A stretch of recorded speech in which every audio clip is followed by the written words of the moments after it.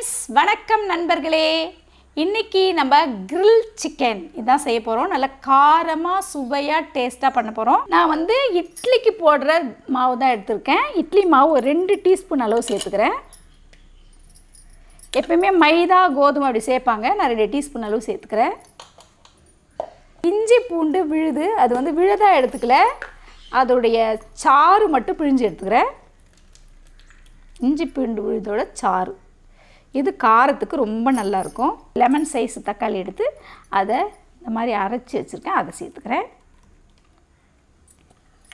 இதெல்லாம் சுவைக்கு தாங்க இதுக்கப்புறம் காரத்துக்கு நம்ம தனியாக அதுக்கு மசாலா சேர்க்குவோம். இதை சேர்த்துக்கிறேன். நல்லா ஃபைன் பேஸ்ட்டாக இருக்கணும். இந்த மாதிரி ஃபைன் பேஸ்ட்டாக வரவே இல்லை பாருங்கள் ஃபைன் பேஸ்ட்டாக அரைச்சிக்கோங்க. இது கூட உப்பு சேர்த்துக்கலாம். ஒரு ரெண்டு டீஸ்பூன் அளவுக்கு சால்ட் சின்ன டீஸ்பூன் ரெண்டு டீஸ்பூன் அளவுக்கு சால்ட் வறுக்கும்போது ரொம்ப டேஸ்ட் கொடுக்கும். மிளகு பொடி நானே வீட்லேயே மிளகு மிக்சியில் போட்டு அரைச்சி அதை தூள் வச்சுருக்கேன். இது பாருங்கள் அழகாக சூப்பராக அதை கொஞ்சம் சேர்த்துக்கிறேன். ஒரு டீஸ்பூன் லெவல் இருந்தால் போதும். இது மாதிரி வீட்டில் பிள்ளைங்களுக்கு செஞ்சு கொடுங்க. ரொம்ப டேஸ்ட்டாக விரும்பி சாப்பிடுவாங்க. ஒரே ஒரு டீஸ்பூன் தயிர் சேர்த்துக்கிறேன். தயிர் வந்து சாஃப்டாக வெந்து வர்றதுக்காக ஒரு டீஸ்பூன் தயிர். வர மிளகாய் தூள் ரெண்டு டீஸ்பூன்.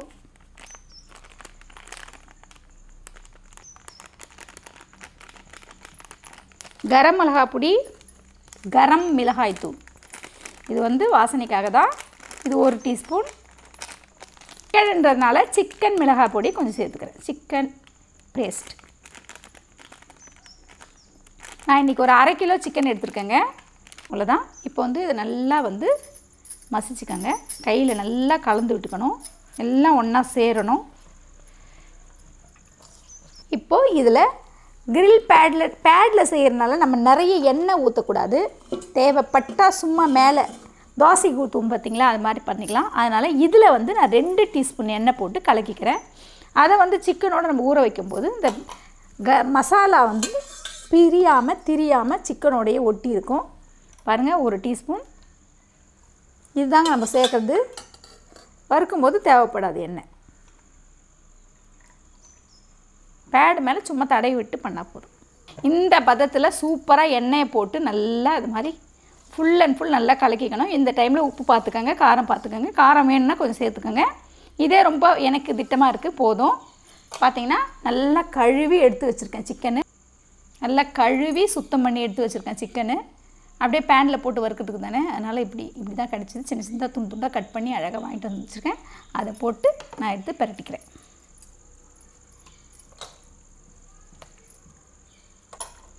இது போல் நல்லா கலந்து விட்டுருங்க. கலந்து விட்டு கொஞ்ச நேரம் ஊறட்டும். இது நீங்கள் ஃப்ரீசரில் கூட வச்சு எடுக்கலாம். ஒன்றும் பிரச்சனை இல்லை. இதை அழகாக கலந்து விட்டு எல்லா பக்கமும் கார சாரெல்லாம் சேர்கிற மாதிரி வச்சு ஒரு பத்து நிமிஷம் ஊற வைங்க.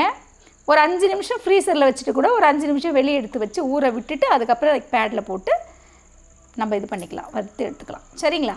ஊறட்டும். பேன் நல்லா சூடாயிடுச்சு. இன்னும் கொஞ்சம் சுடணும். நல்லா சூடாயிடுச்சு. ம நேரத்தில் பேனில் ஒட்டாமல் இருக்கிறதுக்காக அதுக்கான ப்ரெஷ்ஷில் லைட்டாக சும்மா எண்ணெய் எடுக்காமல் இப்படி தடவி விடுங்க. எண்ணெய் ஊற்றல சும்மா பேனில் அப்படியே தடவி விடுங்க. இப்போ நல்லா இது மாதிரி தடவி விடுங்க. அந்த பேன் சுற்றி நல்லா எண்ணெய் இப்படி தடவி விடுங்க. ஊற்ற வேண்டாம். கிரில் இது. அதனால் ஊற்ற வேண்டாம். தடவி விட்டுட்டு இப்போ இதுவும் சூடான பிறகு நம்ம ஏற்கனவே ஊற வச்சு வச்சுருந்த சிக்கன்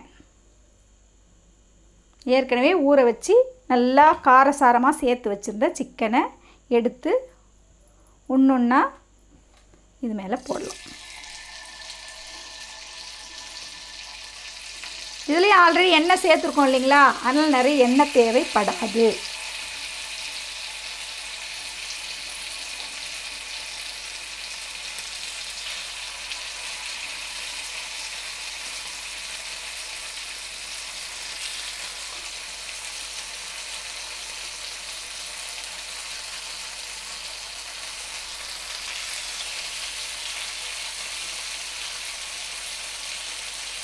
அடுப்பு நல்லா ஃபுல் ஃப்ளேமில் வைங்க. இப்போ வந்து இதில் இருக்க மசாலா பிரியாது. அதுலேயே ஒட்டி இந்த மாதிரி வச்சு விட்ருங்க வச்சுட்டு ஒரு ரெண்டு செகண்ட் மூடி வைங்க.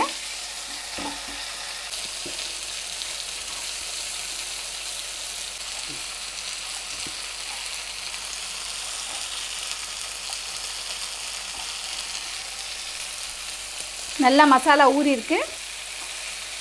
இது மாதிரி சூப்பராக நம்ம வீட்டில் குழந்தைங்களுக்கு அழகாக செஞ்சு கொடுக்கலாம். இப்போ அந்த பக்கம் வேகிறதுக்காக மூடி வச்சோம் இல்லைங்களா? இப்போ இந்த பக்கம் வேகிறதுக்காக கொஞ்சம் மூடி வைங்க. பாருங்க க்ரில் பேன் இல்லாமல் எவ்வளோ அழகாக தோசை தவால ஒரு க்ரில் சிக்கனை காரசாரமாக நல்லா வெந்து சூப்பராக வந்திருக்கு பாருங்கள்